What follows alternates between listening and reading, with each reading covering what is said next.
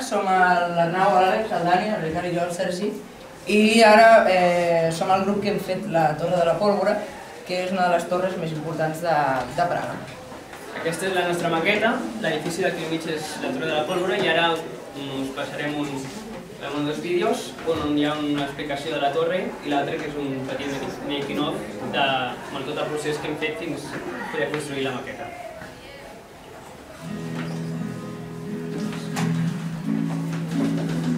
Quan engeguem el robot, eh, fins que no, fins que no, no té un obstacle davant i fins que aquest obstacle no surti, no comença a moure's. I llavors aquí hi ha una, una CPU que fa que obri la porta automàticament, el robot dona la volta, torna a entrar i la CPU torna a tancar la porta.